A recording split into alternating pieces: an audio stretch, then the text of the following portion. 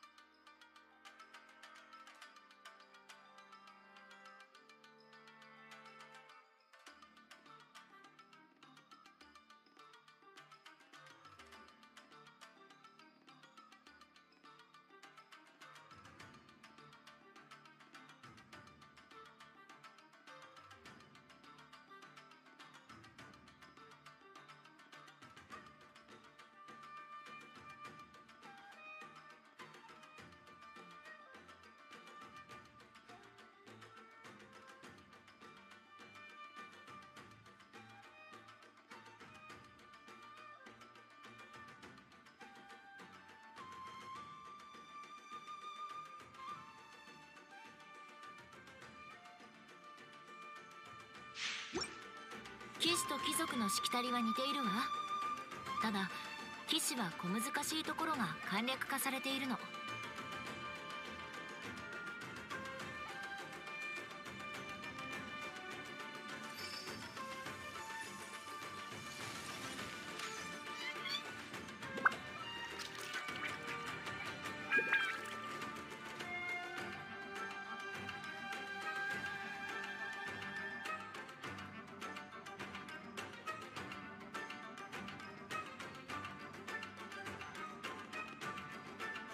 私とセピロス剣術について学びたい？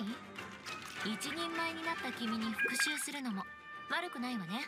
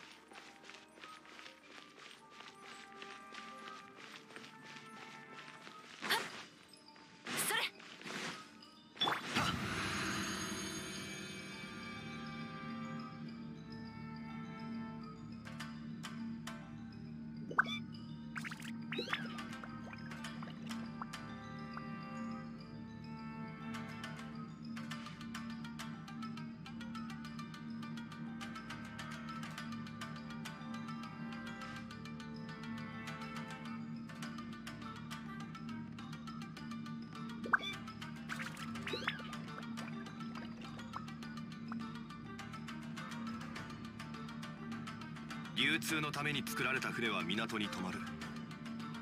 だからリーウェはあらゆる富が沈着する場所だ。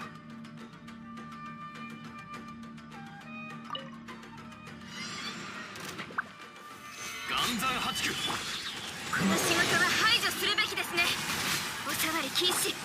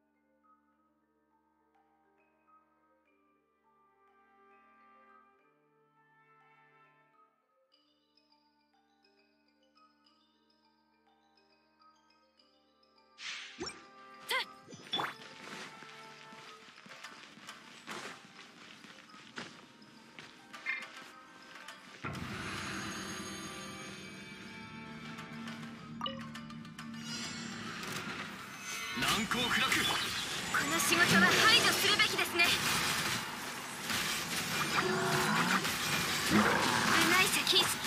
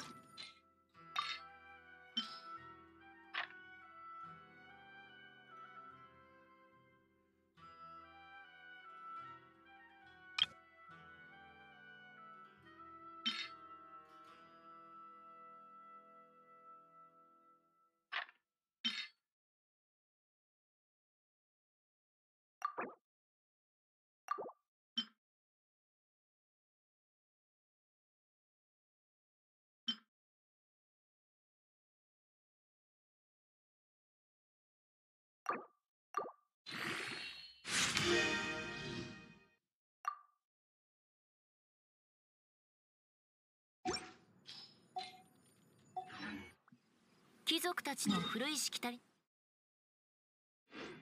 なんて聞き流して。ちょうだいいつか私みたいに何百畳ものしきたり。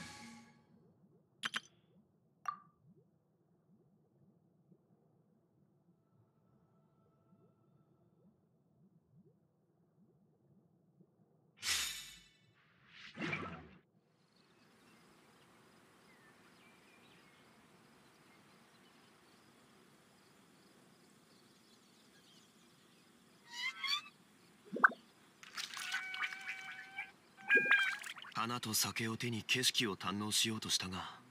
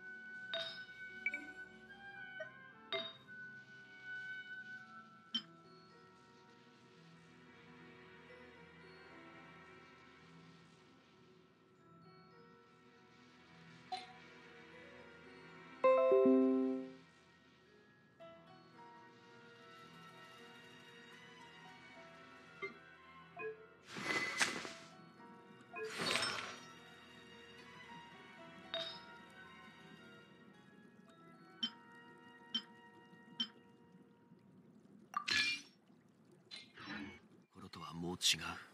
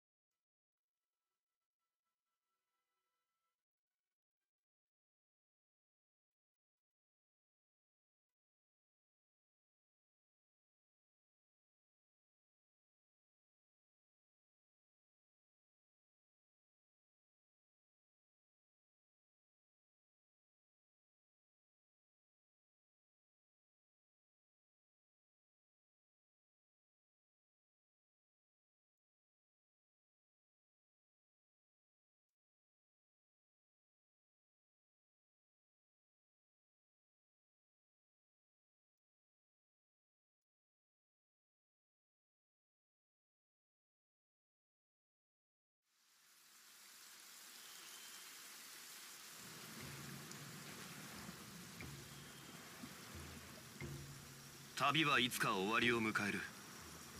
慌てる必要はない。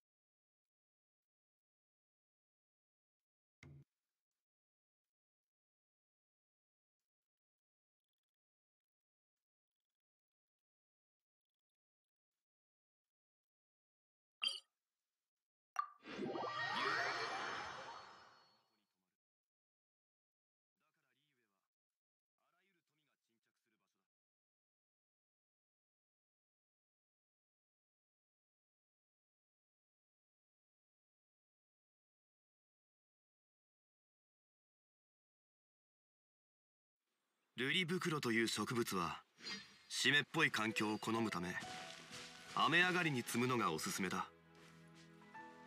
見かけたら適切な時に摘むといい。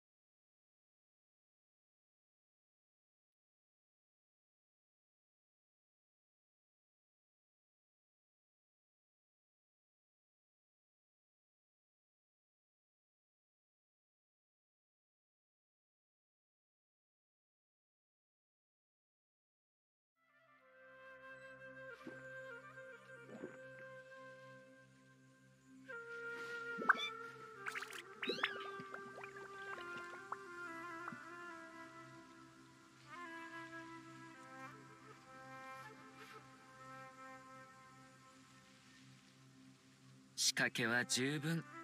そろそろ回収するとしましょう。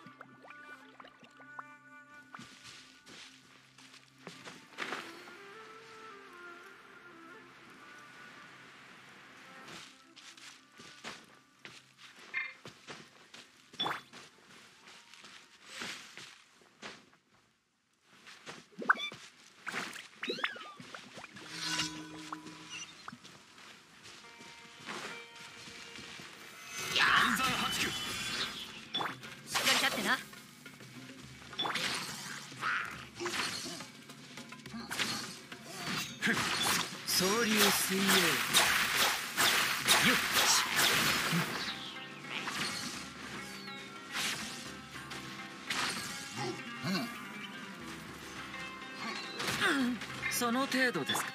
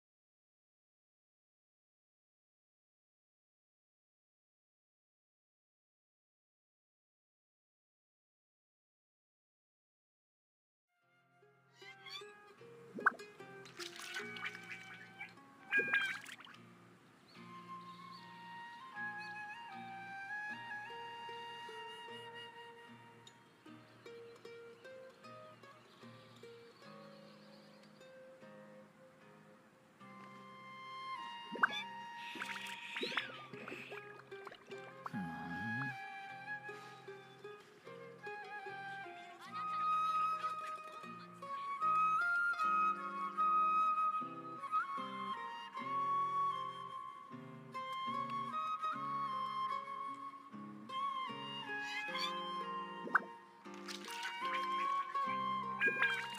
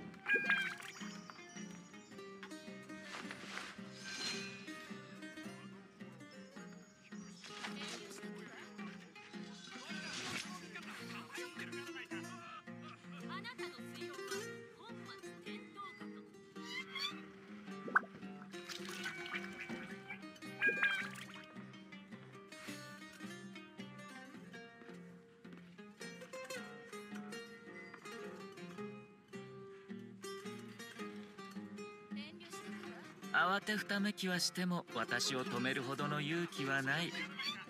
家臣たちのあの時の表情を思い出すと滑稽で仕方ありませんね。さて行くとしましょう。たまには散歩をするというのも悪くありません。か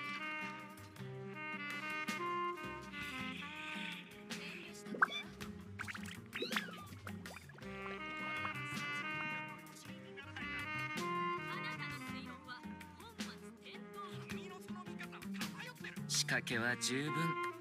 そろそろ回収するとしましょう。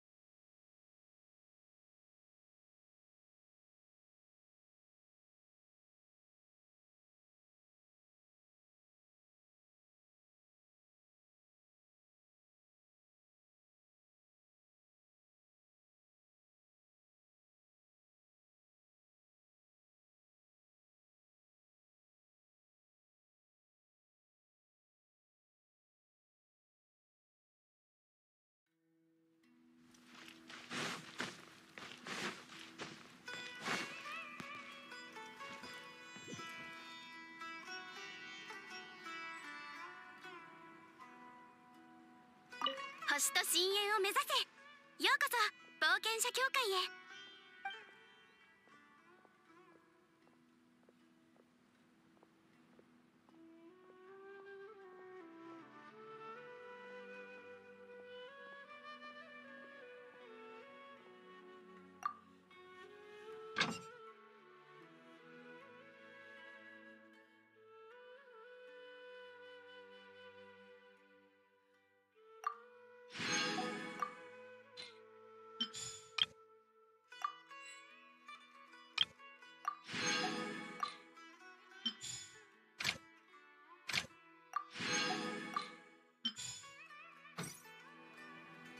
しとし。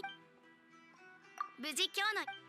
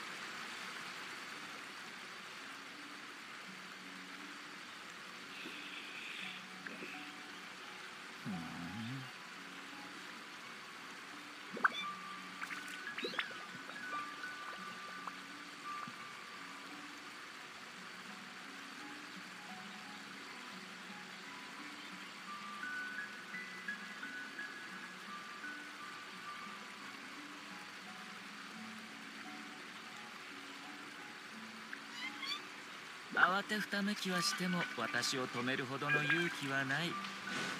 かし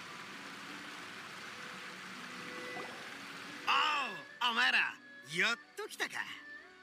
結構長い間あいつらを追いかけてたんだが結局一人も見当たらなかったから先に戻っちまってたぜ。どうだ？お前らの方はなんか収穫はあったのかえっとあったと言うべきかなかったと言うべきか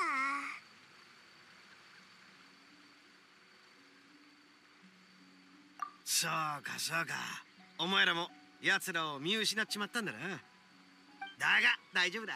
俺様は新しいプランを思いついたからな。どんなプランなんだ？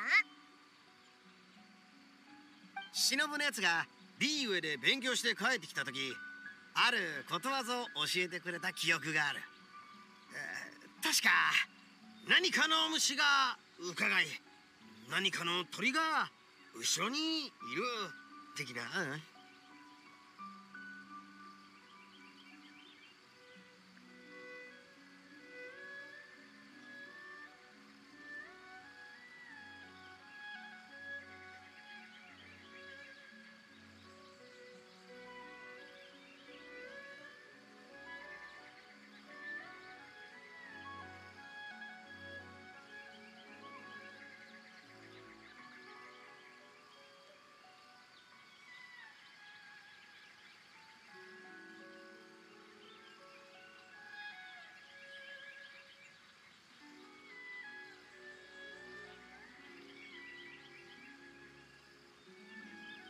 そうそれだ。お前も忍から聞いたか？前回俺様は人を脅かすことに夢中になるあまり逆にあの人をたぶらかしてた連中に脅かされちまった。今回俺様はまず近くで状況を見てあいつら3人が出てたら俺様の方から奇襲をかけるつもりだぜ。まあお前らの方はとりあえず前回と同じく安心して肝試し大会に参加すりゃいい。じゃまた後でな。あいつまたいきなりどっか行っちゃったぜ。でもあいつの計画は確かにいいかもな。オイラたちの方も巫女のお姉さんのところに行って肝試し大会の2回戦に参加しようぜ。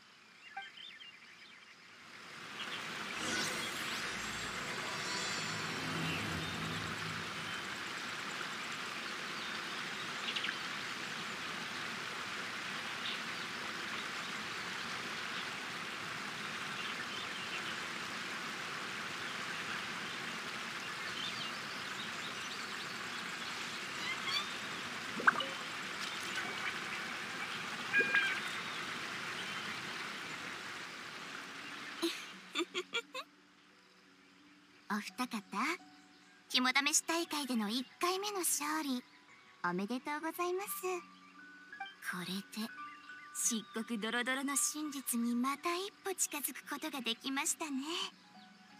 果たしてこれはいいことなのでしょうか？それとも悪いことなのでしょうか？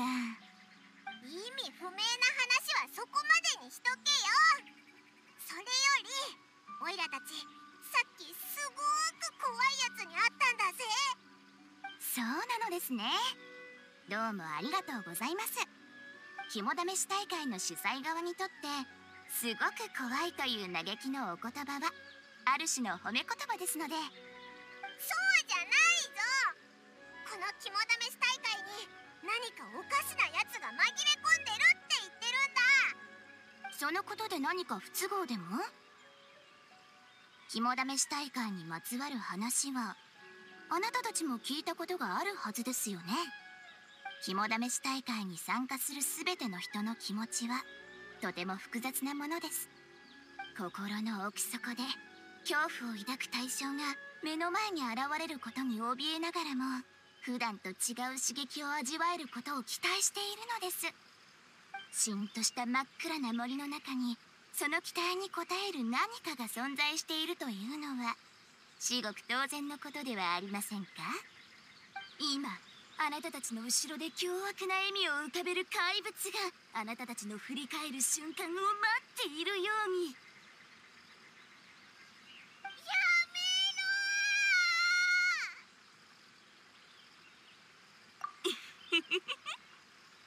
ろ さすがですね。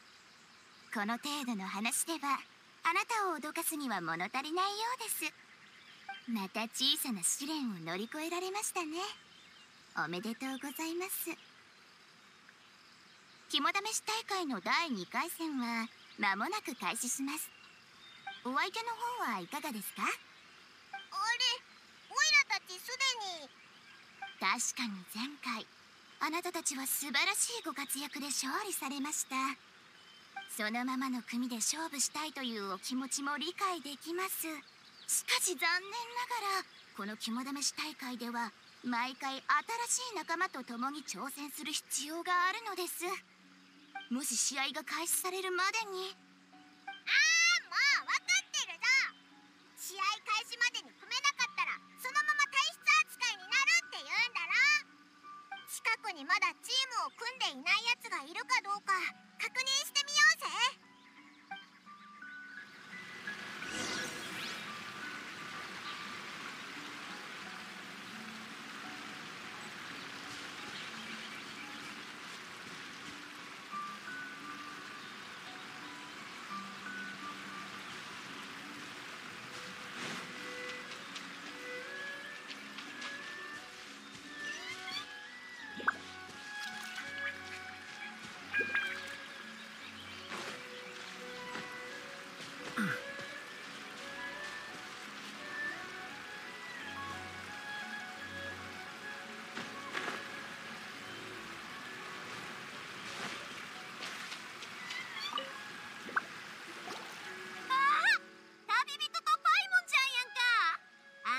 やっぱ来てたんやな。ユイミヤもいたんうちのことやったら前回からとっくに参加してたで。まあちょっと回るんが早かったからそれで会えへんかったんかもしれへんな。第1回戦で勝ったんはあんたらやって聞いたで。めっちゃすごいやんか。うちも最後の最後団子牛乳の隠し場所は見つけたんやけどな。一歩遅かったわ実はどうやって見つけたのかはオイラもよく分かってないんだ。こいつの後ろにずっと隠れてたらいつの間にか勝ってたんだぜ。へえあんた見かけそういうことやったらうちと組まへん？えん？よかった。一気に試合を勝ち取るんや。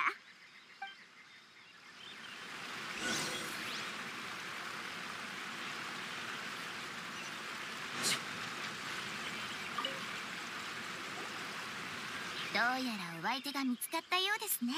もちろん。勝利そのものが幸運であるかどうかは考えものですが。とにかく今回探してきてほしいものを発表しますね。その名も扇です。扇っていうとオイラも知ってるあのセンスのことか？シャブ業の当主自らお選びになった扇は今鎮守の森のとある場所で静かに眠っています。さて導きの準備はすでに整いました。しかし森に潜む暗闇も迫ってきています。持ちこたえられそうにない時は諦めるのが一命を取り留めるための道かもしれませんよ。諦めたりなんかしないぞ。さ出発だ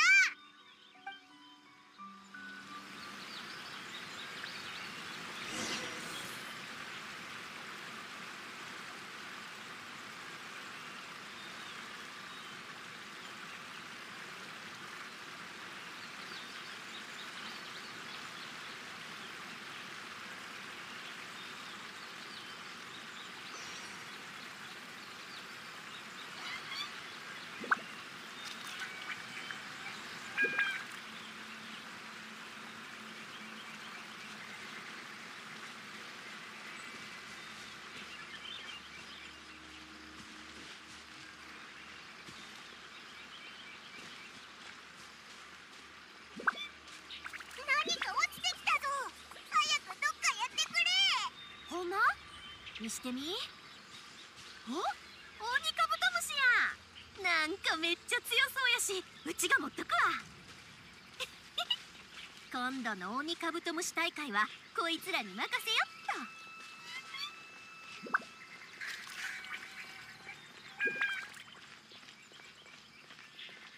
と。そういえばなんか音聞こえへん？音？祠の方から聞こえるみたいなんやけど。そういや人から聞いた話なんやけどな。一部の悪霊は祠に封印されとって夜になると中から叩いてくるらしいで。ほんで人が近づいたら突然飛び出してきて近くにおった人を中に捕らえて自分の身代わり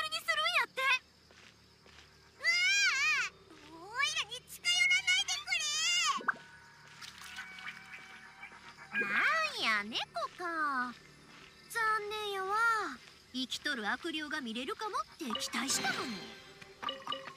うんよかった。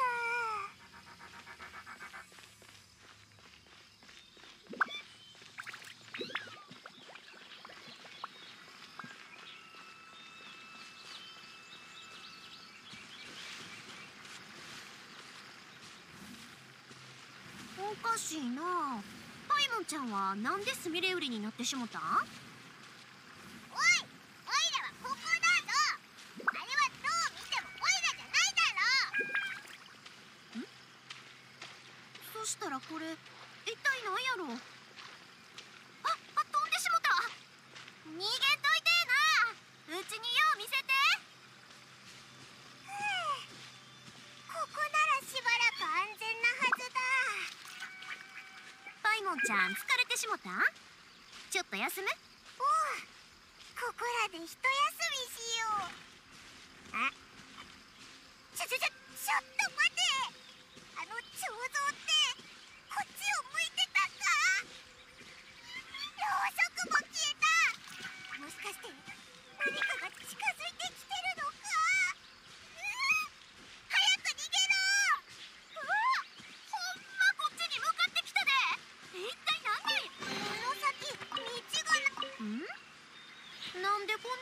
屋台があるんやろ途中で休憩できるようになっとるんかななあジュースを3杯頼むわ今回はうちのおごりや。やったありがとな。誰かおらへんの？変やな。誰もおらへんわ。残念やけど先進もっか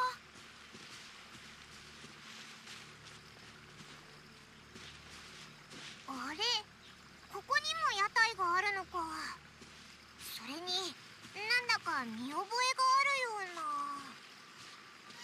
いや違うぞこれってさっきの屋台じゃないか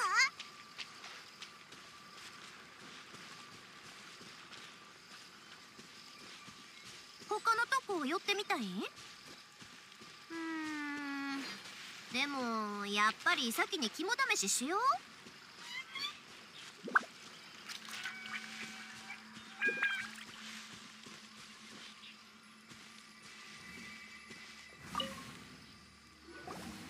なあ見てみ。このうちわこれが探しとった扇ちゃうか？綺麗な模様が描かれとるわ。花火やろか。かく祭りの雰囲気って感じやわ。これが見つかったってことはうちらは今回の試合に勝ったっていうことやんな。これ持って戻ろう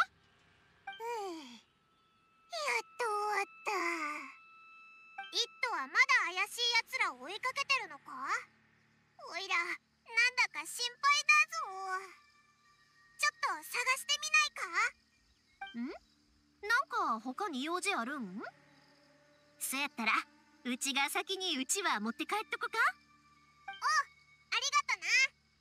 気にせんといてあんたらと一緒に肝試し大会に参加できて楽しかったわ。またなんか楽しいことがあったらうちにも声かけてな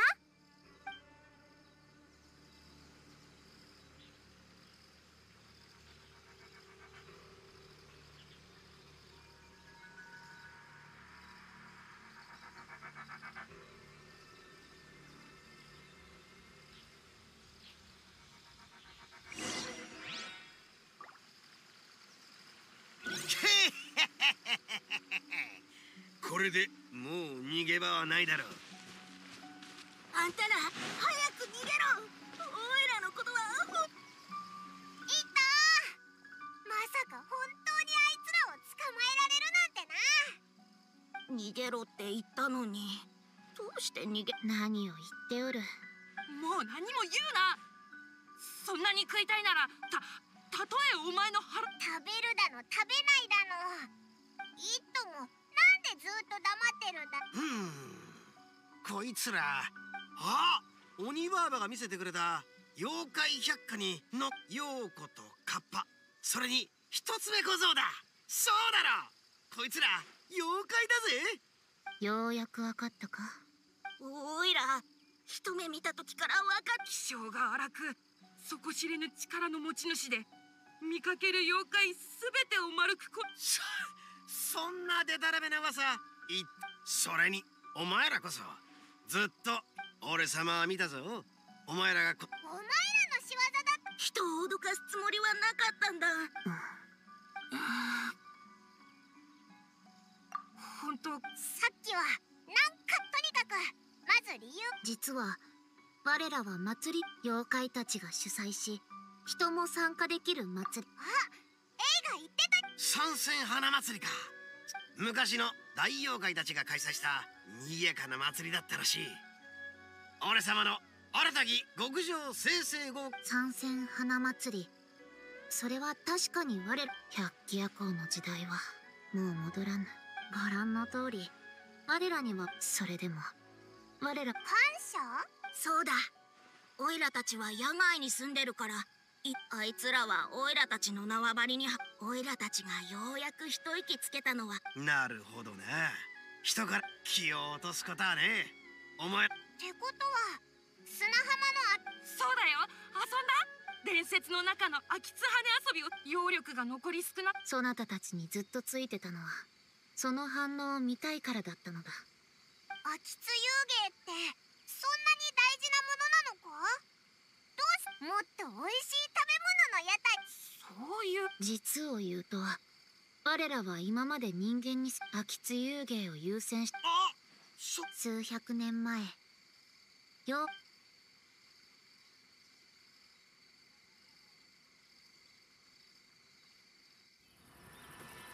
数百年前三世花祭りにとあるものの符が迷い込んだ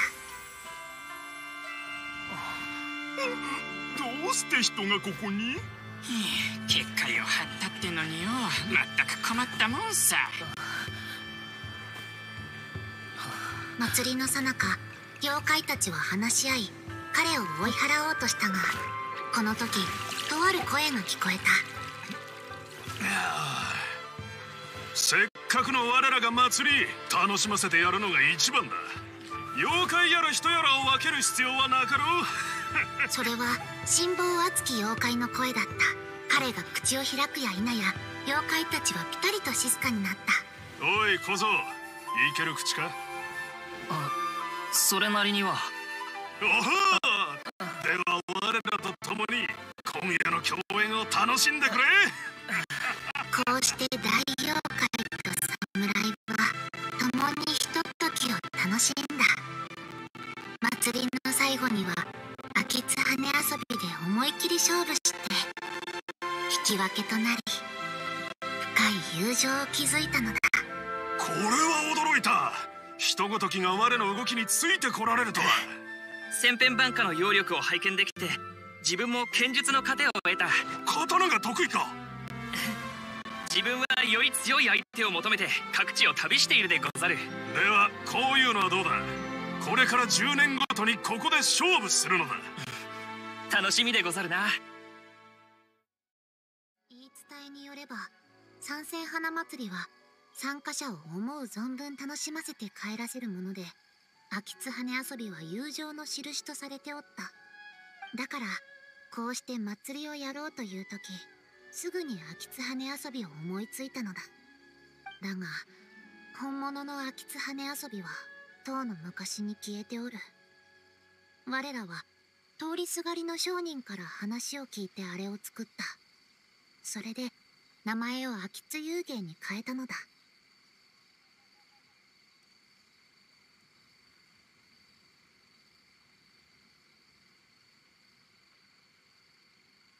あれは僕たち。オイラたちも。先日我らは秋津遊だが結局何の問題も見つからんかった。揚力の。こいつらが嘘を言ってるようには見えないぜ。本当に想定外だったのかもな。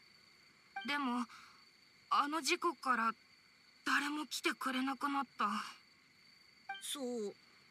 それから水色の髪をしたあんちゃんがやってきたんだ。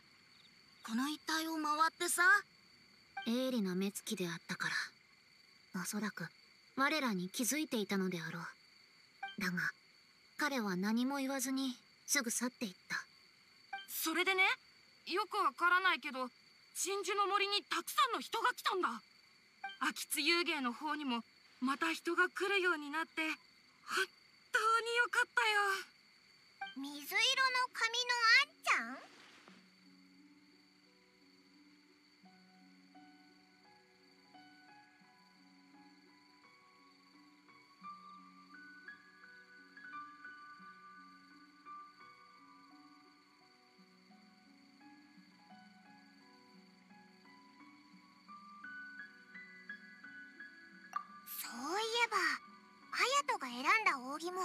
祭り用のうちわだったよな。もしかしてあいつ妖怪たちのことを知っててここで肝試し大会を開いたのか？なんだ？綾との兄貴も肝試し大会に参加してたのか？もしかして鬼カブトムシを捕まえに来たのか？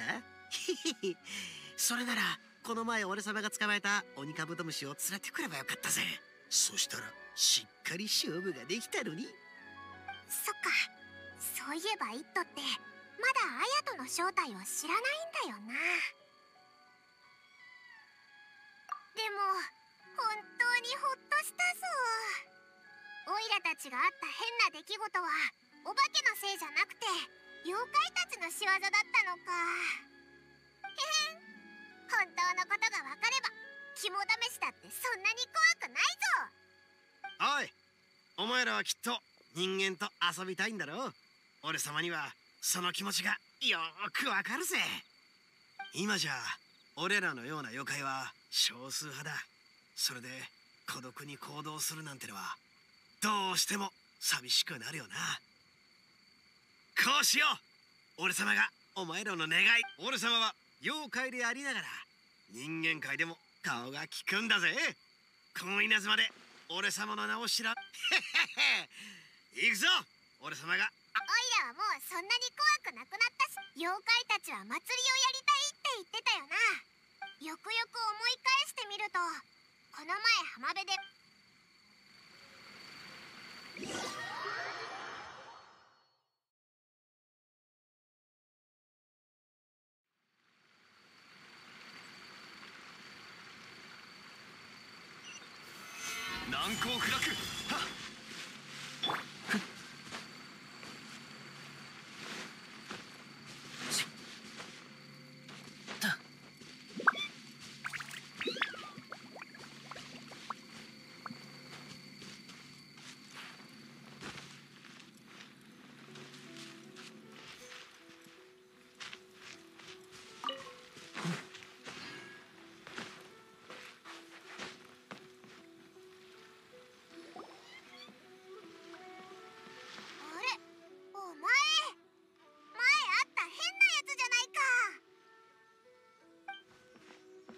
また君たち？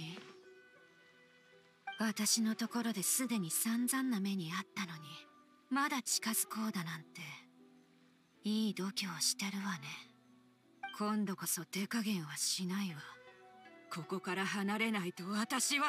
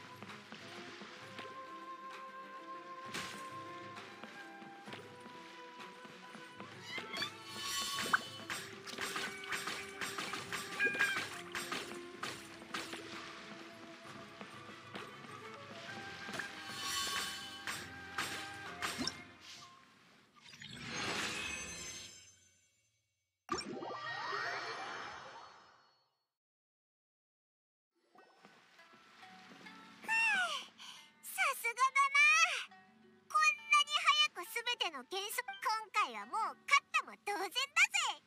ほらいいわ。見てなさい。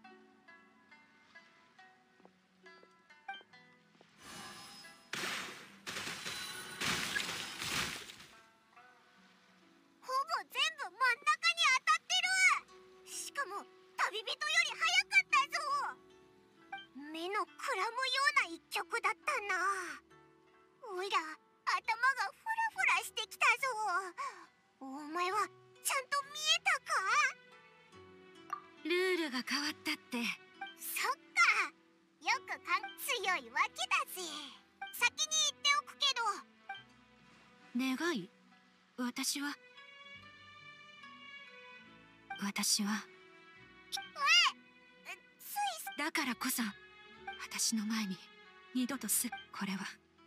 きこれは私からの最後通帳よ。怖かったらもうここへ来ないで。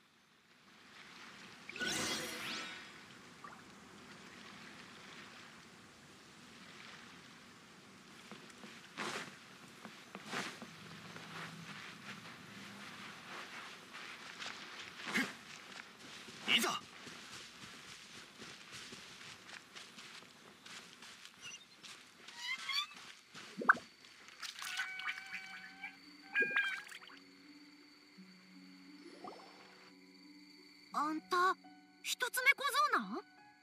そそうだ。緊張せんでええって。うちは長野原花火屋の宵宮や。あ昔すっごく遠い場所からだけど長野原の花火を見たことがあるよ。空で散っていくのがとても綺麗だった。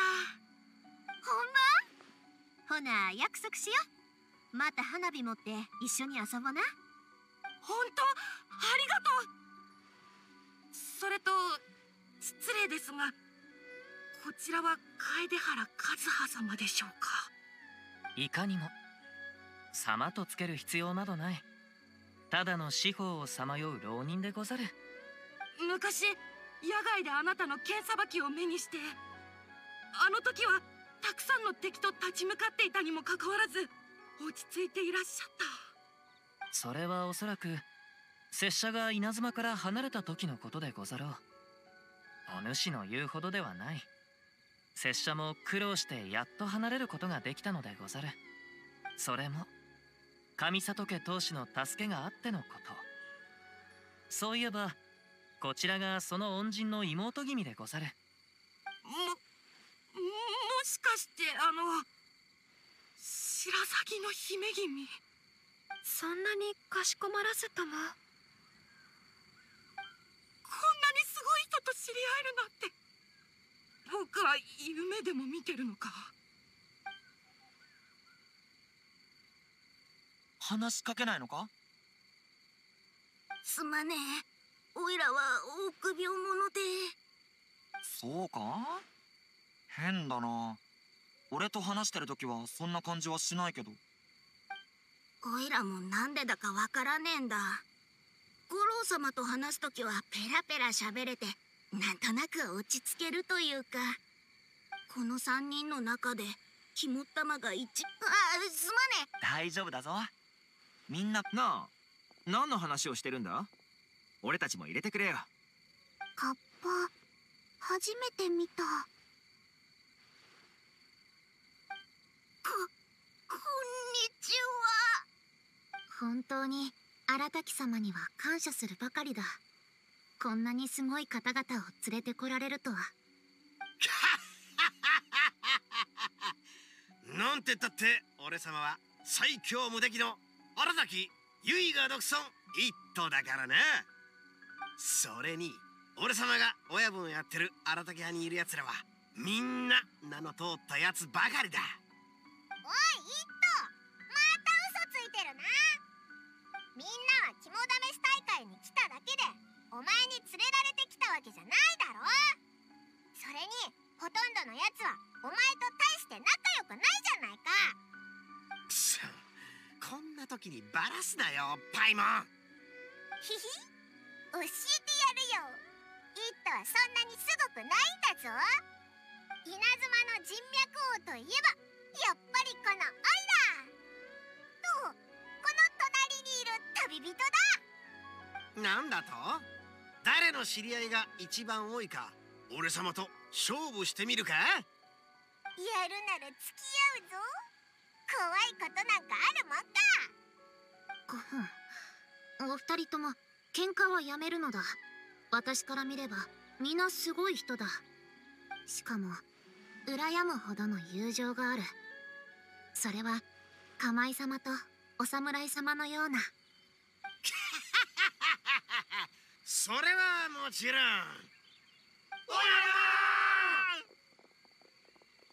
俺様の子分たちだ。まずい。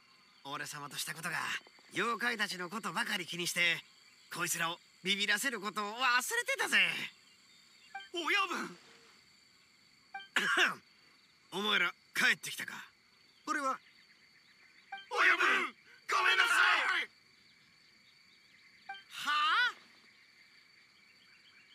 親分の賢明な判断を疑ったなんて。肝試し大会マジで怖かった。幽霊ここ絶対幽霊がいるって。今思い返しても震えが止まらない。でもこの刺激は確かに楽しくもあったな。あえー、ええ だから言っただろ。お前らが信じなかっただけだ。ほらほらもう怖がるな。俺様からの種明かしだ。本当はだな。ここに幽霊なんざいやしねえ。お前らが見た怖いもんは妖怪たちの仕業で単なる誤解なんだ。だよな。うんそのすまぬがこのお三方は知らぬそなたたちがどこへ行き何を見たのかはわからぬが我らとは無関係なはず。あ？え？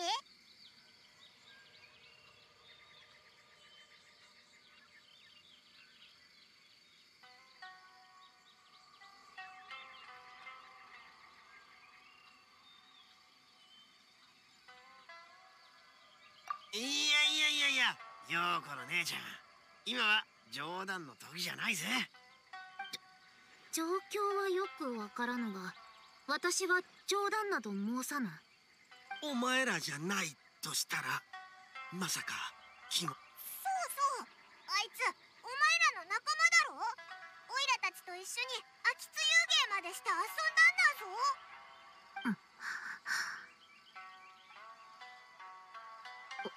お二人が会ったという方は知らぬが今回祭りをやりたいと思ったのは我ら三人だけ。助けてくれオイラたち幽霊に会ったぞ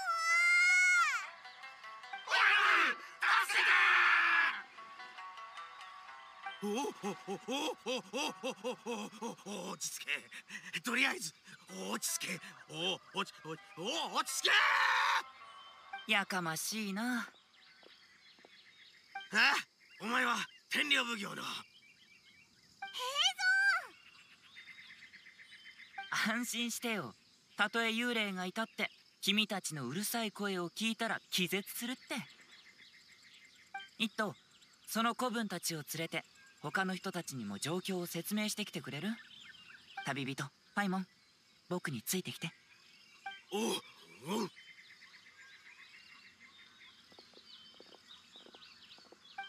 ったぞ。ふう。平蔵がいてくれればなんだかちょっとだけ安心だぜ。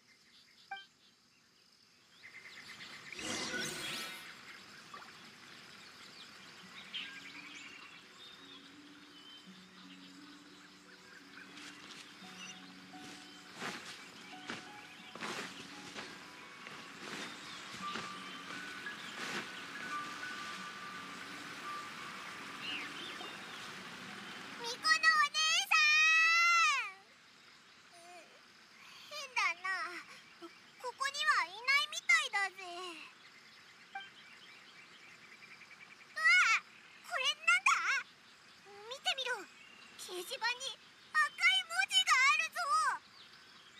最後のもの羽子板肝試し大会の最後の探し物は羽子板ってことかどうやらあの巫女は僕たちに3周目を完遂してほしいみたいだねでも彼女は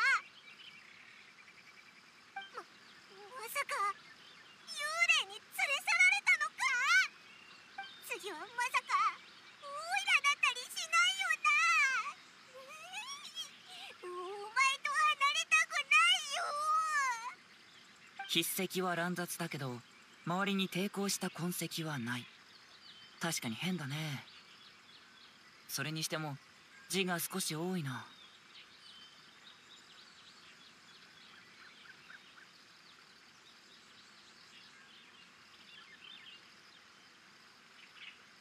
3試合で使った3つのものはそれぞれ3つの勢力によって選ばれたものだと僕は考える。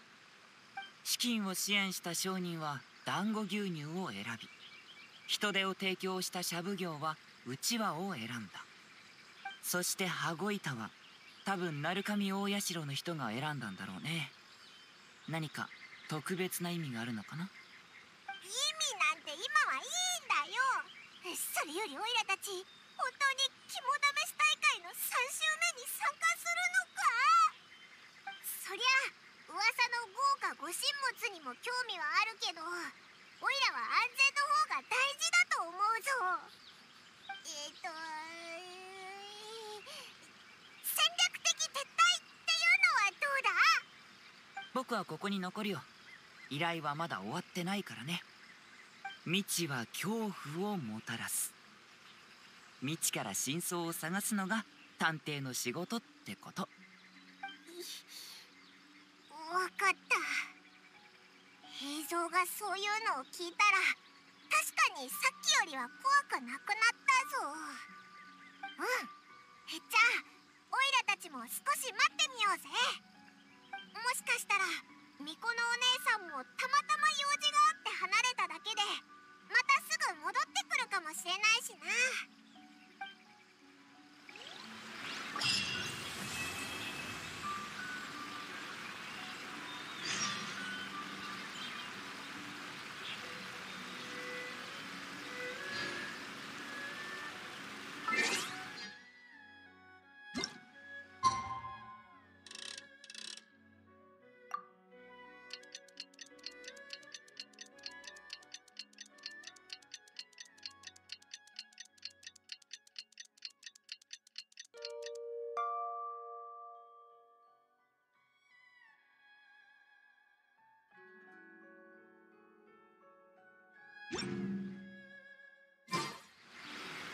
旅人パイモン。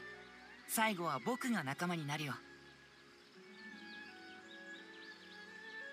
全ての人の中であの幽霊に会ったのは君たちだけだ。僕は君たちと一緒に真相を調査したいうんオイラは大丈夫だぞお前もいいよな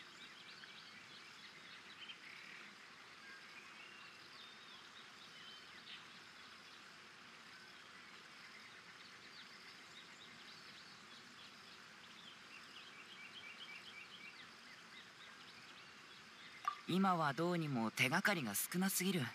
僕もまだ推測しかできない。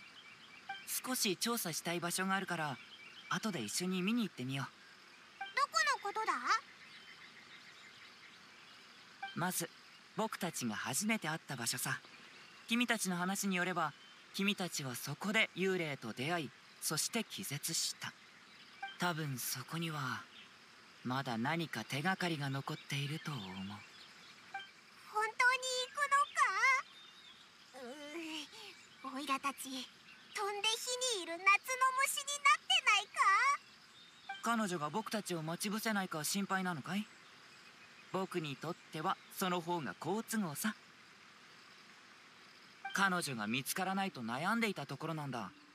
そんなに簡単に出てきてくれるなら手間が省ける。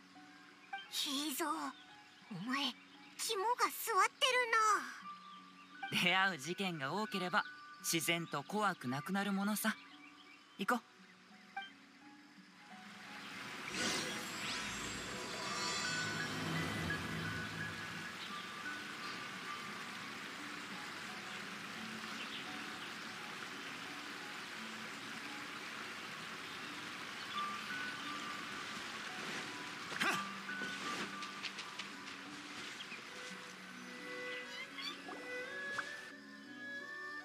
君たちが最初に幽霊に出会った場所はここだったはずだ。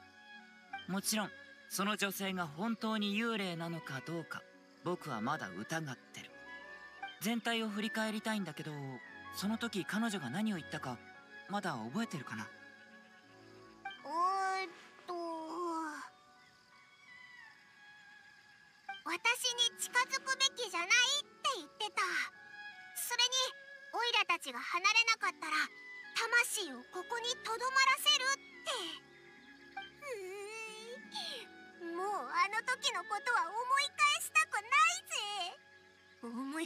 けでまた体が震えてきたぞ。それで？それからオイラは目の前が暗くなって頭もフラフラしてきてあちこちに火の玉がちらついてるのが見えたんだ。それになんだかあの幽霊の周りに黒い霧がまとわりついてる感じがしてそれでオイラは気絶したんだぞ。なるほどね。その話だと確かに幽霊のたたりって感じがするね。ほら平蔵だってそう思うだろ？もともと完全に否定してたわけじゃないよ。ただ彼女の正体よりも何がしたいかの方が気になるね。幽霊だとしても知性があるのなら何か切実な目的のために動いているはずだちの魂が欲しいんじゃないのか？そう言ってたぞ。それは多分ただの脅しでしょ。えそうなのか？なんて言えばいいかな。あもし僕に魂を取るなんて能力があるとすれば何度も君たちに警告なんかしなくていい。それにそんな秘密を持った誰かが辺りをうろつくことは許さないと思うな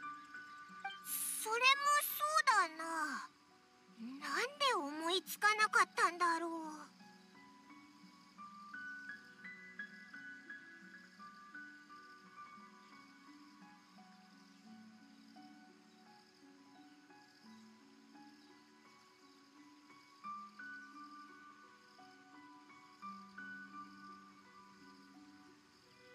今考えられる可能性は2つだけだと思う。まずは本当に君たちの魂を刈り取りたいけどそのためには何らかの条件を満たさないといけない。いわゆる呪われた状態って可能性。でももし本当に君たちが呪われてるならきっと何らかの感覚があるはずでしょ？だからこの可能性は低い。僕が思うに彼女はただそれを理由に君たちをビビらせて追い払いたかっただけだろうね。オイラたちを追い払って何をするつもりなんだ？待て。オイラ分かったぞ。オイラたちを危険させて肝試し大会の賞品をひあそっか。そんなはずないよな。じゃあなんだろう。平蔵何か思いつくか？君たちの話から考える限りじゃ彼女には悪意がないように思うよ。ただここにいてほしくないだけでね。でもこれだけじゃまだ何もわからない。常識的に推測すれば彼女は何かの宝物を守ってる。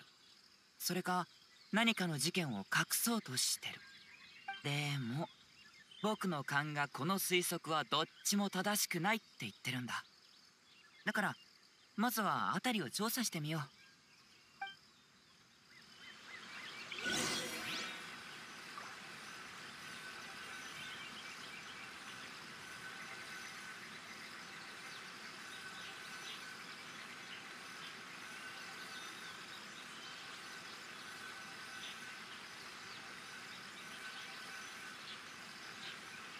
花と酒を手に消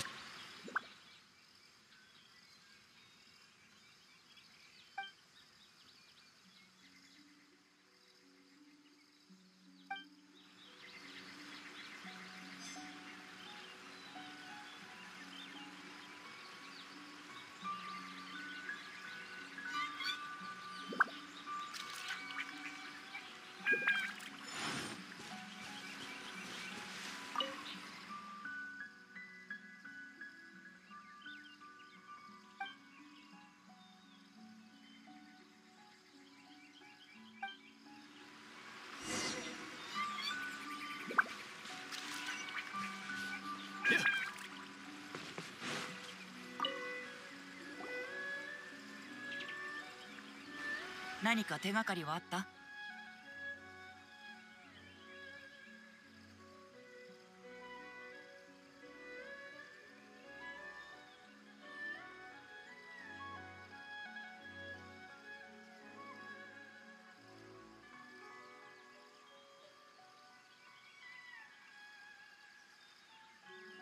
イラたち枝が何かによって曲がってたのを見つけたぞ。それ以外は何もなかった。うん。僕も君たちと別れた後辺りを探してみたんだけど枝が何らかの負荷で曲がっていた他にも焼かれた跡がある場所があった。けどやっぱりそれだけじゃ何ともね。もっと直接的な物証があればいいんだけど。こんにちは。あの邪魔してごめんね一つ目小僧。それに陽子とカッパまで。どうしたんだ？手がかりを探していると聞いてな。手伝おうと思ったのだ。へえ勇気あるな。あおいらたちも自信はないよ。さっき荒滝様の子分たちから詳細を聞いてきたけど確かに怖い。そいつは絶対どこかの怖い悪霊か膨大な妖力を持つ邪悪な大妖怪だ。どっちにしたってただものじゃない。でもでも参戦花祭りを思うと。うん。我らは昔から釜井様とお侍様の友情に憧れておった。この憧れがあったからこそ人から受けた恩には参戦花祭りで報いろうと思ったのだ。力に限りがあるからとてこのせっかく手に入れた友情に誇りをかぶせたくはない。参戦花祭りとは来る人に思う存分楽しんで帰ってもらう祭りのはずだ。鎮守の森は広いからね。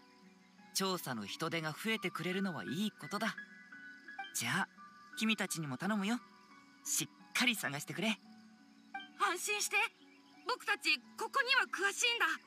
どんな手がかりだって見逃しはしないよ。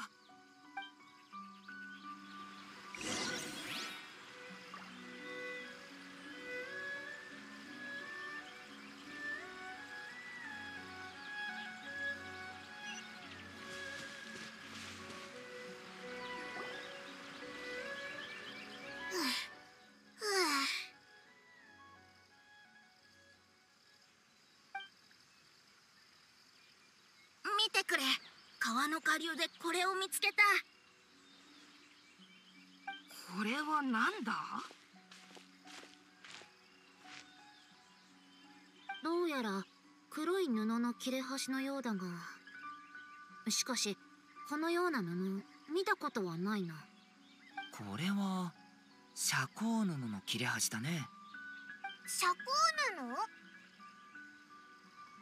布？うん光を遮る効果が強くてよく舞台などの場所に使われてる布だよ。切り口が結構荒いね。石とか木の枝で破かれたみたいだ。木の枝？例えばとても大きな遮光布が木の上にかけてあったとしたら木の枝はその重みでたわむ遮光布を木から引っ張って落とそうとした時どこかの端っこが枝に引っかかって破れ黒い布の小さな切れ端が水の中に落ちた。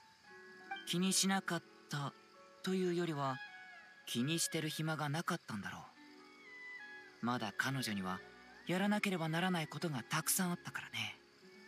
じゃあなんで遮光布を木の上にかけたんだ？僕の推測だけどもしかしたら君たちが味わった雰囲気を恋に演出するためうんまだ気にしないで。僕もまだ考えがまとまってないんだ。荒滝派の人たちが脅かされたって場所ももう一回調査しに行きたいんだけど君たち道はわかるかな？僕道を知ってるよ。荒滝様の子分たちと話した時幽霊にあった正確な場所を聞いたからさ。僕が連れて行くよ。じゃあよろしくね。さあ行ってみようか。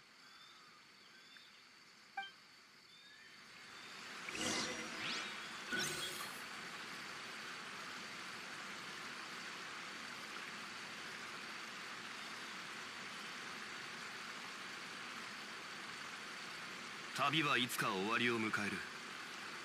慌てる必要はない。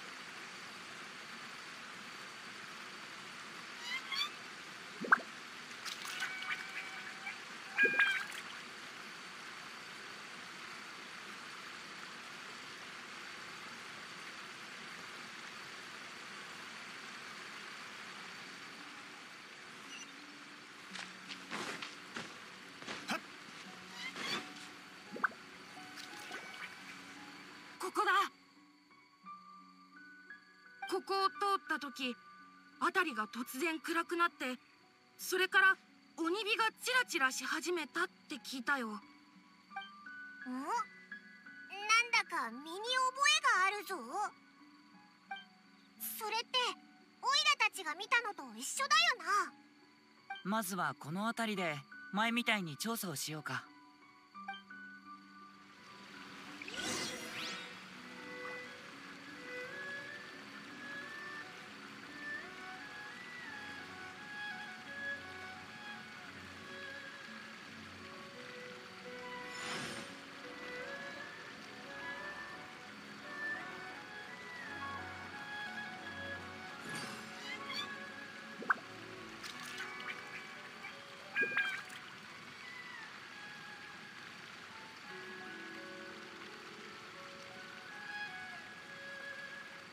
花と酒を手に景色を堪能しようとしたがあの頃とはもう違う。木の下からひび割れ中は煙くて。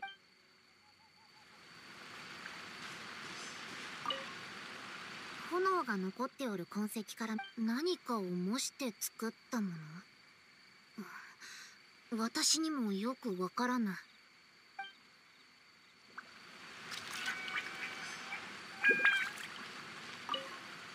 隣の石の割れ目に変な粉が。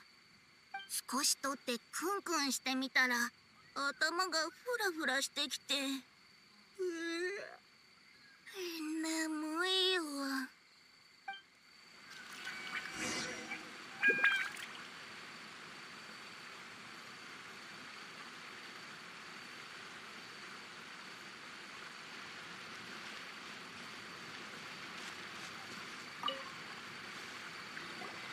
似たような恐ろしいこと。完全に片付けられていない痕跡。どうやら僕たちは真相にだいぶ近づいてきたみたいだね。今ほぼ確信できるのは君たちが会ったその女性は幽霊なんかじゃないってことだ。彼女は不思議な力も持ってない。ただ前もって準備した小道具で人を脅かしてただけさ。そんなものでできるのか？オイラたちが見たやつは本当に怖かったんだぞ。まず肝試し大会の存在自体がここの雰囲気をますます恐ろしげにした。当時の君たちは妖怪の3人に脅かされたところだった。その上謎の女性に出会えば緊張するのは必然的なことでしょ？緊張のせいで呼吸は荒くなり彼女があらかじめ撒いていた睡眠花粉を吸っちゃったせいでフラフラし始める。その瞬間彼女は遮光布をさっと抜き取って鬼火を燃やし未知で恐怖の景色を作り出した。だいたいこんな感じかな。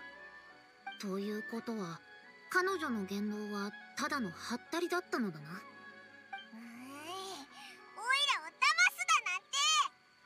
でももう一つだけ問題がある。僕にこの件の調査を依頼した人は確かに尋常じゃない力によって浜辺から抜け出せない状態だった。これはただの小細工でできることじゃない。でももし彼女にそんな力があるのならどうしてたくさんの小道具を用意する必要があったのかな。オイラ頭が痛くなってきたぜ。うんそうか。森の中では小道具なしに人を脅かせないが砂浜では不思議な力を駆使できる。なるほど。大体分かったよ。うん。集団行動の可能性を除けば残るはただ一つ。君たちが会ったっていうその女性の正体が分かった。浜辺に行って確認しよう。我らも。いや君たちには帰ってみんなに怖がらないように伝えてほしいんだ。もう時間を費や真相はもう浮かび上がった。分かった。何かあったら大声危ないことなんかないよ。でも崖に沿って探してみよう。僕の推理が間違っていなければ一箇所だけ土の違う場所があるはずだから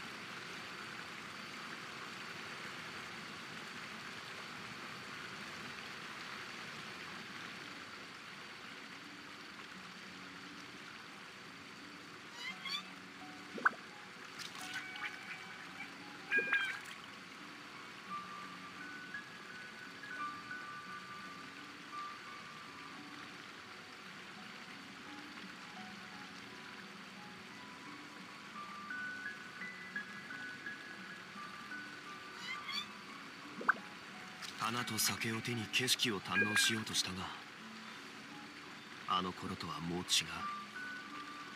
悠々とまた。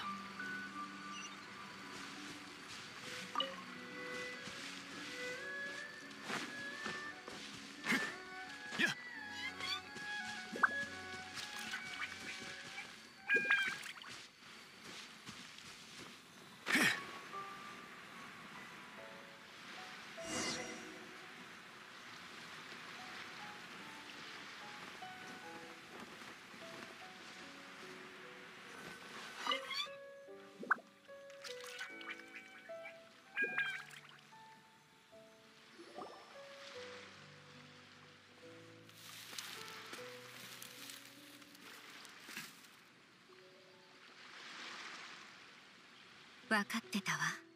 やっぱりここまで探しに来たのね。妖怪の仲間だと思ってたのにあいつらはお前を見たことないって言ってたぞ。お前一体誰なんだ？なんでオイラたちを脅かすんだよ？言ったはずよ。話しかけるべきじゃないって。いい加減に離れないと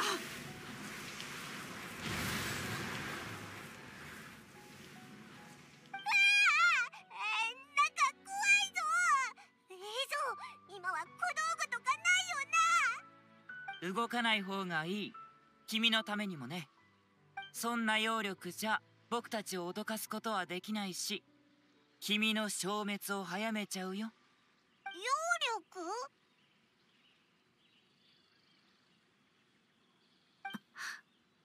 力？なぜそのことを？物をよりどころに生まれる妖怪は本体以外にも人の姿に化ける本体の近くにいれば多少揚力を使えるけど本体から離れすぎると力は衰えちゃうんだ。そして本体が壊れてしまったらそれをよりどころとして生まれた妖怪も消滅してしまう。仏霊とでも言えばいいかな？それともつくも神の方がいいかい？ややこしいことはいいわ。自分の名前がある。羽生田千鶴よ。千鶴なんでオイラたちに離れてほしかったんだ？お前も妖怪だったら一つ目小僧たちの考えを理解できたはずだろ？それに一緒に秋津遊芸を遊んだ時も楽しかったぞ。なんだかなんだか物語に出てくる釜井様と侍になったみたいで。そう。だからこそ。だからこそ君たちにもあんな悲しみを味わってほしくなかったの。悲しみ？どういう意味だ？妖怪たちから釜井様と物のふが知り合うお話を聞いたわね。あの話本当は続きがあるの。彼らの知らない続きがね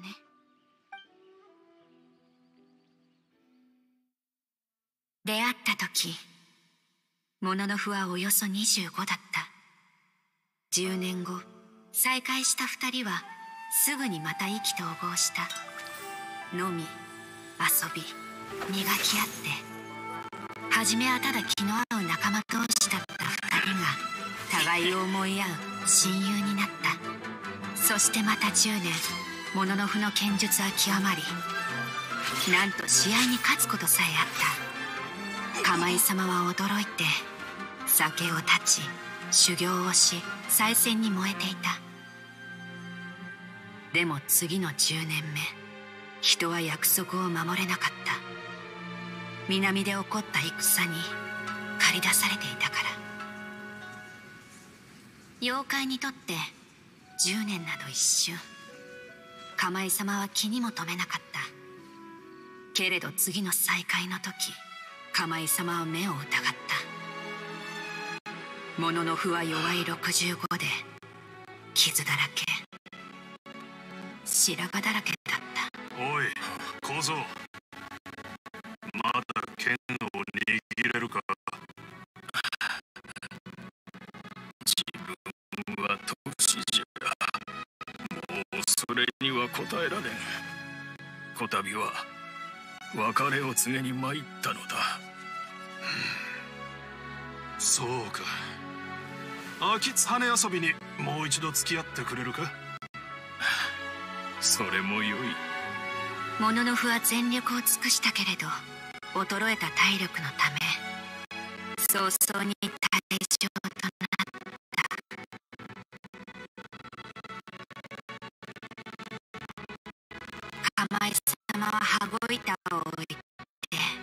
しばらく黙り込み長いため息をついた。実に遺憾だ。実に楽しみという言葉から実に遺憾までたったの数十年。釜井様の要望が変わることはないのに目の前にいる旧友は老け込んでいく。出会った時の喜びも最後には遺憾という名の毒薬に変わってしまった。傍観者の方が冷静だと言うけれどこの一部始終を目撃した私は残酷なことに気づいたの。失望と悲しみは最初から起こる定めだった。私たちは人と寿命が異なれば性分も異なるけれど同じ土地で生活している。お互い触れ合い惹かれ合ってそれでも最後には別れが訪れるの。夢から目覚める時に残されるのは永遠の思念とどうしようもない苦痛だけ。見識の広い大妖怪でさえこうだったのよ。単純で善良な普通の妖怪たちが別れの時に味わう悲しみはいかほどか。だからお前は。この砂浜に身を潜め最後の日が訪れる時を待っていた。彼らがたまたま秋津遊芸をここに置いたせいで私は長い眠りから呼び覚まされたの。釜井様と人のものの符の話を聞いたからといって無限の期待と熱情を抱いたまま人と触れ合ってほしくなかった。だって二の前でしかないもの。だからあんなおかしなことをしてここに来るやつを脅かそうとしたのか？前浜辺に閉じ込められた人もいたらしいけどあれもお前なのか？なんでそいつにだけそんなひどいことしたんだよ？私の力はもうだいぶ弱まっているわ。ほとんどは集めた道具で人を脅かすだけだったけれど人が多い時は姿を現しにくくて。でもあいつは欲するものを貪り悪ことを知らなかった。秋津遊芸の置物を盗み去り高い値段で売ろうとした。だから揚力を使ってあいつを懲らしめたの。そうだったのか。お前って意外と正義感があるんだな。そういえばあの釜井様と侍の話お前はどうやって後半の内容を知ったんだ？答えたくないならいいよ。僕には分かったからね。君の正体はこの羽子板だろ。羽子板？あまさか。数百年前妖怪カマイと人間の侍が秋津羽遊びで使った羽子板。強い揚力の影響を受けてそこに意識が芽生えたんだ彼らの物語を一番近くで見届けたのは君だった。数百年の時が過ぎ。揚力による守りも虚しく羽子板本体は朽ち果てる寸前。自身の存在すらまともに維持できない状態じゃ小道具にでも頼らなくちゃ人を脅かせはしない。それから僕の推測が正しければこの羽子板が3戦目の目標。まったくその通り。実に面白い推理じゃった。わっぱたち肝試し大会3戦目の勝利。おめでとう。ミコそれに巫女のお姉さんまで？失踪したわけじゃなかったのか？ごめんなさい。八重様のご指示でして。どうじゃ？驚いてくれたか？恐怖が未知によるものであれば局面も混乱すればするほどよい。そしてとうとう主催側の者までが謎の失踪を遂げる。これでこそ肝試し大会じゃ。やっぱりわざとオイラたちをビビらせたのかよ。瞳まず戻って他の者に肝試し大会の終了を知らせよ優勝者はもう決まった。真相もはっきりしたことだし僕も依頼人に会いに行こうかな。窃盗未遂。確かにさほど重い罪じゃないけど罰さないってわけにはいかないし。二人ともじゃあね。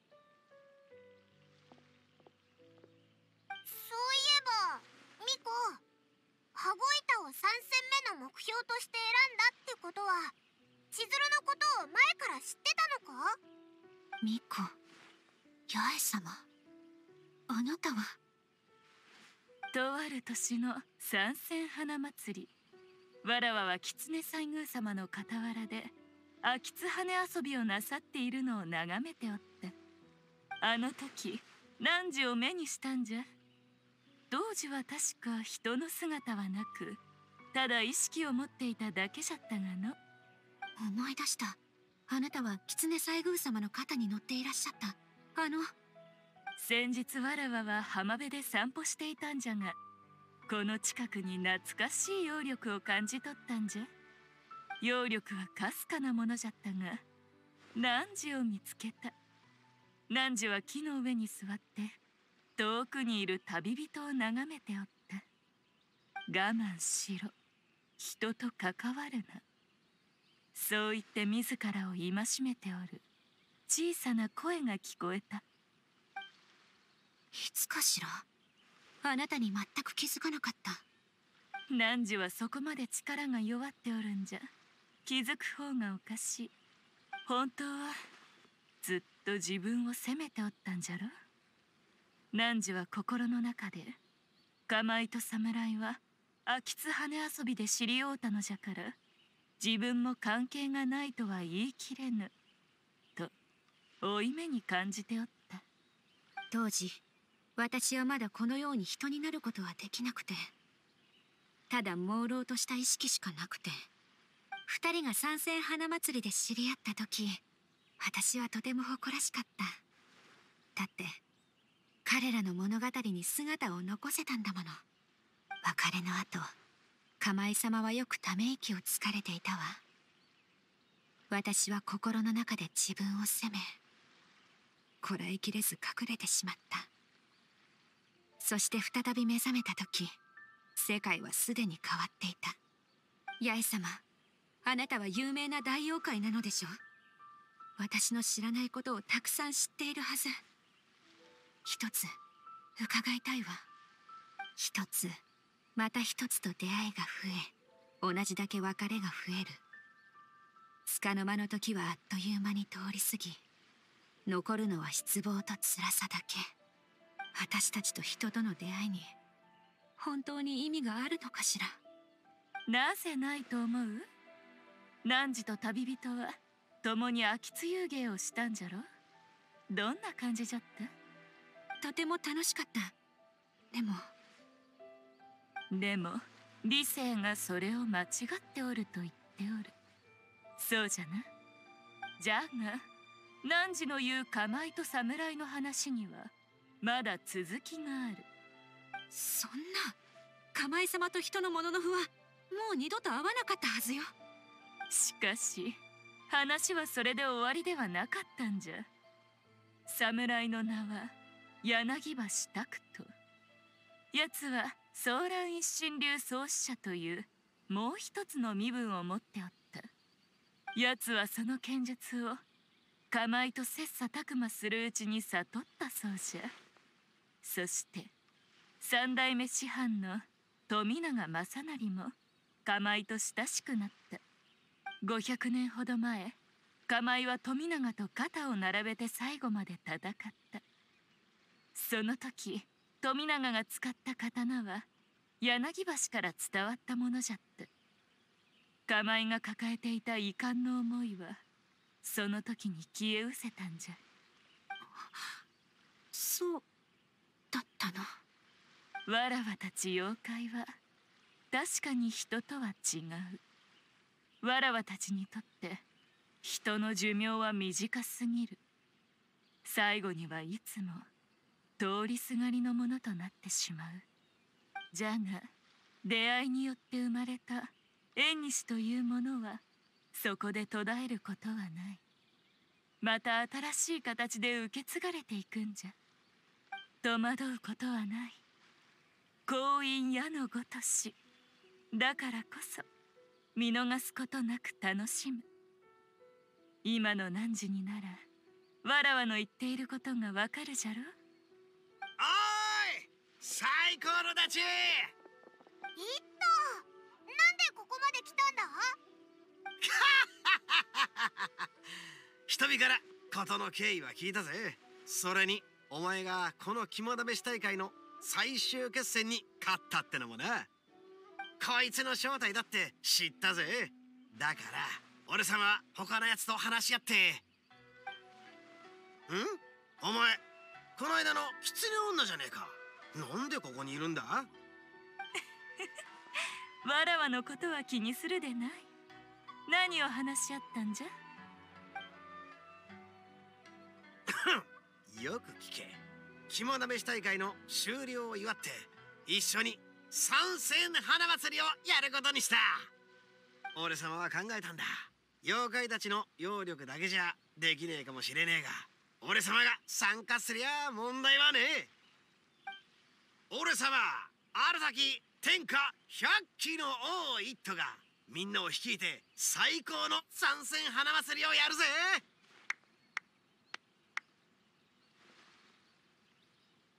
さすが荒滝様。おお本当に大丈夫なのかよ。そりゃどういう意味だ？今回は俺様だけじゃなくて他のやつも手伝ってくれる。綾人の兄貴まで来てくれたぜ。今はみんな準備してる途中だがもうちょっとすれば祭りの完成だ。お前らは遊ぶだけでいいぜ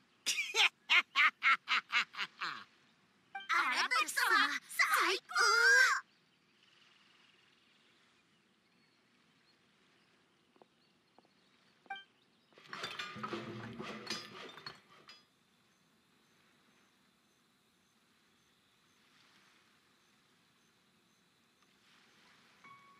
祭りと言われればわらわが行かぬわけにもいくまい？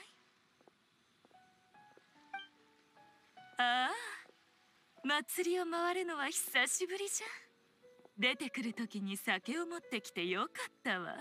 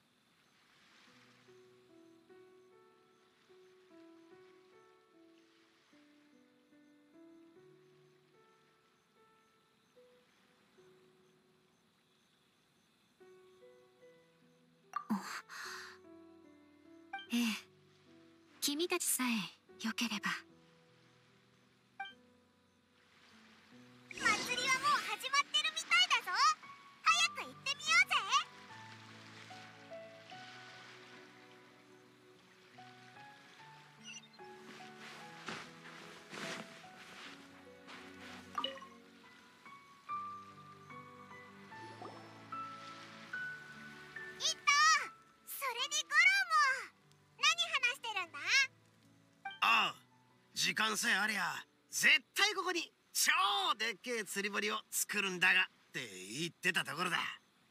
釣り？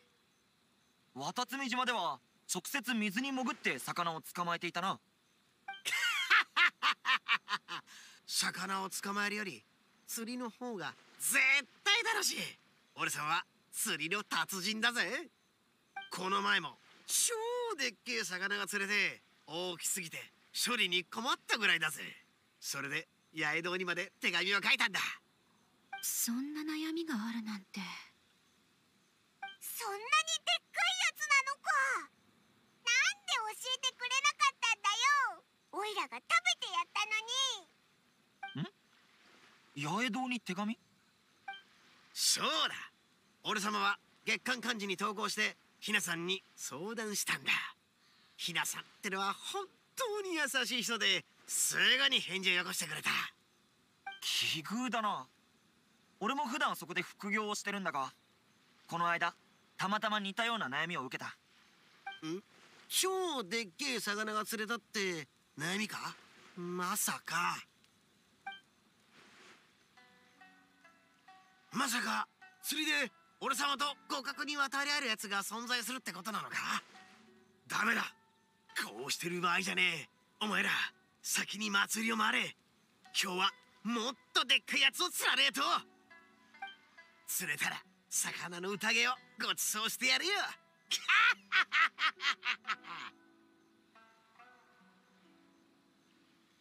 あとちょっと。あ紐が切れちゃった。難しいな。よいみや姉さん本当にヨーヨーって釣れるの？心配しんときうちの秘訣を伝授したら見抜いて素早くこれに限るで。ヨーヨー釣り。娯楽小説で読んだことあるぞ。試してみ。片っぽの目一つ閉じてちゃんと見定めたらうまい具合に素早く釣るんや。見るからに難しそうだぞ。あ旅人にやらせよう。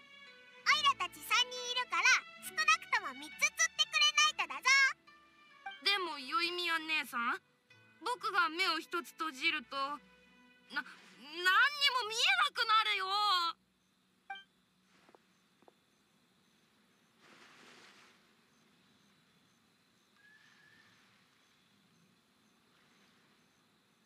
ラーメンおいしい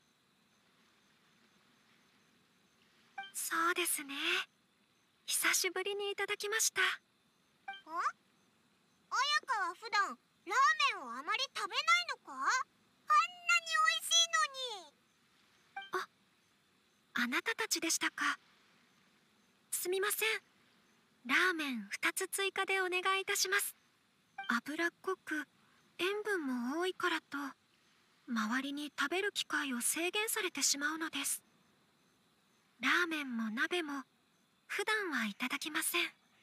大変ね。うんうん。だから綾香はケーキを鍋に入れたんだな。はあ。えっとそれは忘れてください。ふうお腹いっぱい少し眠い。せつ少し寝る。そういえば昔の妖怪たちの祭りには何か特別な出店はありましたか？話せば長くなるけど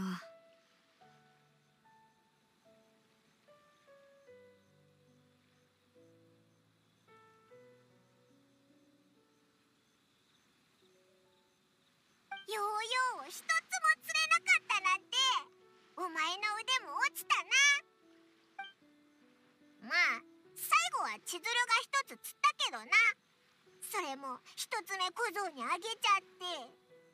欲しそうに見えたから。おいらも欲しいぞ。じゃあ今度もう一つ釣ってあげる。やった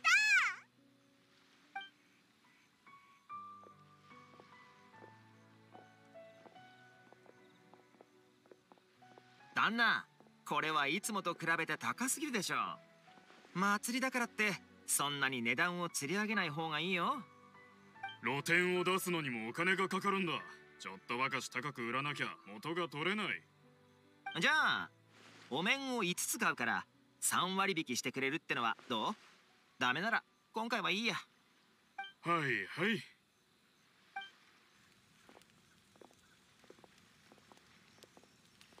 暑い。干からびそう。そんなに近づかずもっと後ろに行った方が良いでござる。わかってるけど普段はこんなに綺麗なかがり火を見ることないもん。一番近くで見ていたい。この世には美しき風景が山ほどある。そう焦らずとも祭りはまだ長いまさか妹子にまで教えていなかったとは。あの様子じゃさぞ驚かせたじゃろう。ここで何が起こったのか事前に教えると面白くなくなってしまいますから。友人がそばにいるのですから怖すぎるということもないでしょう。少しばかりびっくりする方があの子も普段溜め込んでいる緊張を緩められていい。今回の計画は実に順調じゃったの。何も知らぬ者たちが慌てふためくのを見るのは実に愉快じゃ。それは私も同感です。ミコアヤトお前らの笑いって怖いぞ。うん？祭りを回り終えたのか？では楽しかったか？本物の三線花祭りは今よりも100倍にぎやかじゃった。でも何時らが言っても今ほどは楽しくないかもしれん。友人と回る祭りの方が楽しい。そうじゃろ？ええ。ありがとう。ほれわっぱに何か言いたいことがあるのじゃろ？もう邪魔しないでおこう。そうなのか？また見抜かれるとは何でもお分かりのような気がする。何でもわかるのではない。ただわらわにもそんな経験があっただけのことじゃ。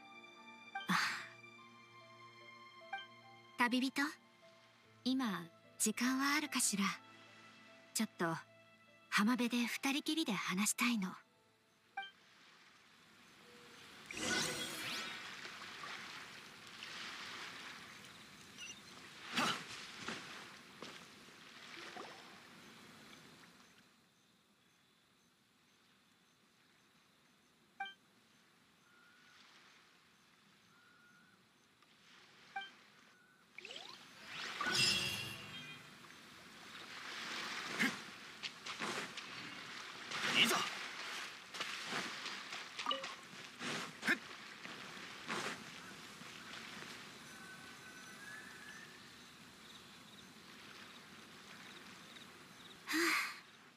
ここにしましょう。ありがとう。付き合ってくれて。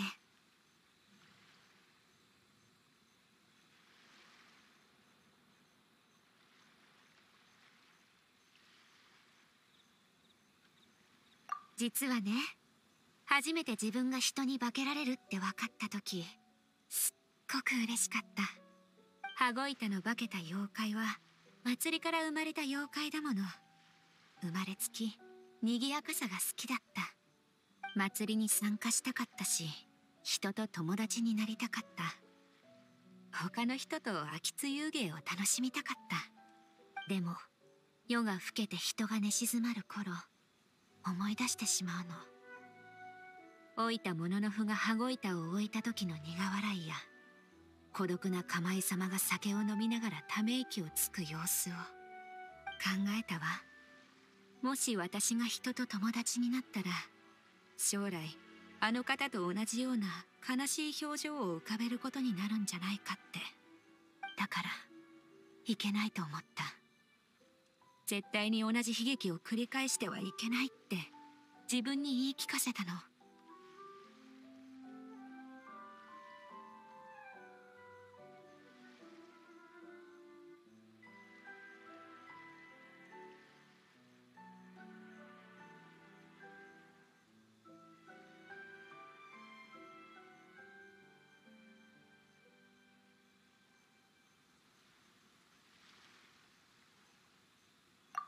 さい。初対面の時からわけのわからない話をして驚かせたでしょ？君はびっくりして逃げるかと思ったのに2回目に会った時は何事もなかったような顔をしていた。妖怪たちの仲間だと勘違いされてるのが分かっていたのにそこには触れず君と秋津遊芸を遊んだ。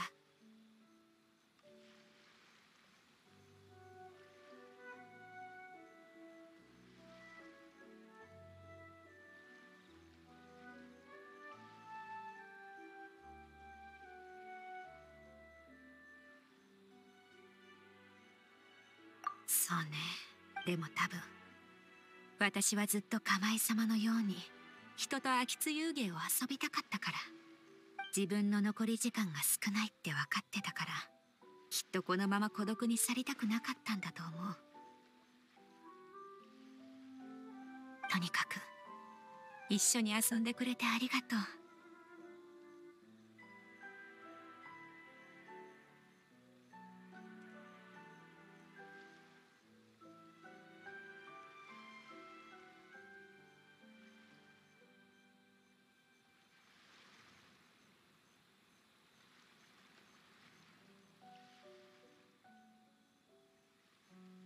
前の秋津遊芸パイモンちゃんは負けた人に自分の願いを一つ叶えてもらうって言ったわね。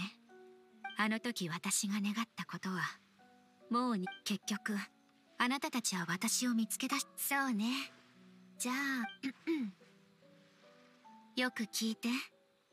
私の願いは今後も君の旅路が祭りのように楽しいものでありますように。